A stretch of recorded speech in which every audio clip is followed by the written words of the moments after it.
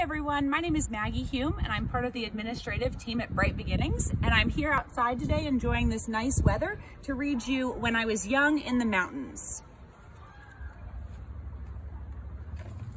When I was young in the mountains, grandfather came home in the evening covered with the black dust of a coal mine.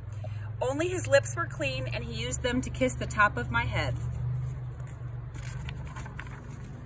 When I was young in the mountains, grandmother spread the table with hot cornbread, pinto beans, and fried okra.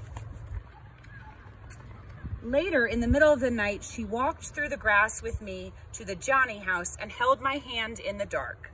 I promised never to eat more than one serving of okra again. When I was young in the mountains, we walked across the cow pasture and through the woods, carrying our towels.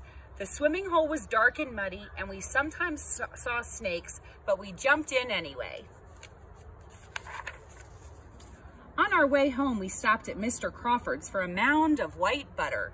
Mr. Crawford and Mrs. Crawford looked alike and always smelt of sweet milk. When I was young in the mountains, we pumped pails of water from the well at the bottom of the hill and heated the water to fill round tin tubs for our baths. Afterward, we stood in front of the old black stove, shivering and giggling while grandmother heated cocoa on top. When I was young in the mountains, we went to church in the schoolhouse on Sundays and sometimes walked with the congregation through the cow pasture to the dark swimming hole for baptisms.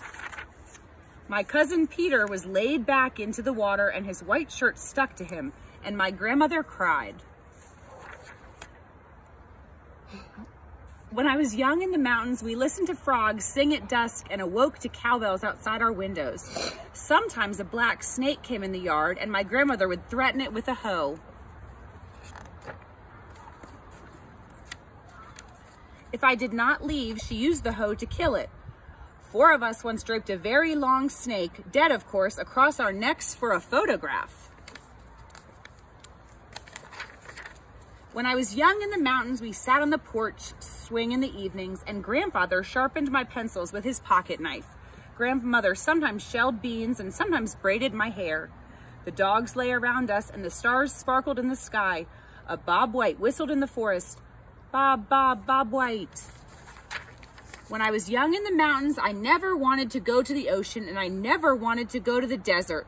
I never wanted to go anywhere else in the world, for I was in the mountains and that was always enough. The end.